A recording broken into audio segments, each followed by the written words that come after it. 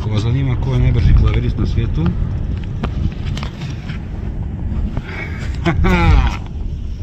Hello friends, what's up and welcome back. So you guys can see that everyone is doing preparation for the Christmas and we have not news from Stefan Hauser since a week ago.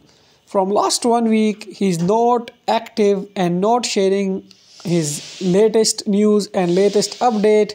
He shared just older videos and there are a lot of rumor regarding him on social media. Like a person also share a video where he make hauser secret relationship. He make his uh, secret wife and uh, he just not stop on his secret wife. He pregnant him on his channel which is baseless rumor and i don't think people believe such kind of rubbish.